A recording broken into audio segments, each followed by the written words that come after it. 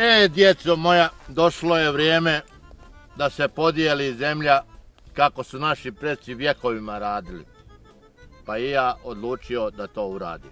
Znao sam Čača da nešto bitno čim smo sve trojica ovdje. Jesi ti pravi čača, kad dođeš za živog sebe, zemlju da nam dijeliš. Jesu, vala.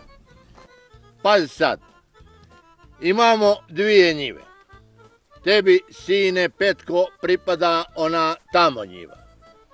Dobro Čača. A što baš ta? Zato što si je zaslužio. Kako to zaslužio? E, pa vidiš onaj oraz dole u dnu njive. Vidim Čača. E, tu sam te pod onim orasom napravio, pa velim po pravdi Boga, ta njiva i pripada tebi. E Čača, baš ti hvala. A tebi, sine Svetko, dajemo ovu gornju njivu. Hvala čača, što meni tu njivu. Zato što si je zaslužio. A što sam je zaslužio? E, vidiš onu jabuku dole u dnu njive? Vidim čača. E, tu neđe oko one jabuke sam te napravio, pa velim da po pravdi Božjoj zaslužuješ tu njivu i ona ti i pripada. Pa hvala ti čača. Mislim, hvala ti. Šta men čača daješ? Nema više njiva. Pa tebi, sine Sretko, dajem ovaj put između ove dvije njive. Što put? Pa nisi me valjda na putu napravio. Nisam te napravio na putu, ali sam te napravio tamo u onoj njivi. Pa tata, ono je tuđa njiva.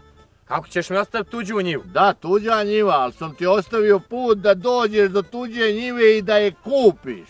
Nego, djeco draga, kako ćete se vi odužiti taj za sve ovo što je Tajo vama dao? E Tajo, evo ja ću ovako. Ti kad umreš jednog dana ja ću tebe oplakati. Ovako. Joj Tajo, hranitelju moj, hvala ti za njivu i oras pod kojim si me napravio. Dobro je, dobro je, dobro je. Čuće ko pa će misliti stvarno da sam umro. Nego, kako ćeš ti, sine, Cvetko, da, da, da odužiš se taj? Joj taj, ja, ja ću tebi isto oplakat, ali sve glasa te ovako. A joj tajo, i ranitelju moj, hvala ti što si mi ostavio njivu, onu sa jabukom. Ajde, ajde, dobro je, dobro je, djeco. O. Ima li išta drugo, a ne samo da ričete ko volovi? Po, hoću ja Čača, evo, ja ću tebi napraviti najveću saranu koju je svijet vidio. I kupću ti najbolji sanduk u selu. Naj, od rastovine, može. E, sad mogu s mirom da umrem, znam da ću biti sahranjen. A ti, sine Cvetko, šta ti? A joj taj, pa ja ću ti najveći i najljepši spomenik ispraviti. E, hvala ti, sine Cvetko, ne mogu dočekati kad ću umrijeti. Nego, sine Sretko, ti ništa ne pričaš šta ćeš učiniti za svog taju. E, tajo moj kad umreš, pa te Petko lijepo sahrani, pa ti Cvetko podigne lijepo spomenik, ja ću na sred tog groba da ti posadim šipak. Šipak! Jeste, jeste, šipak.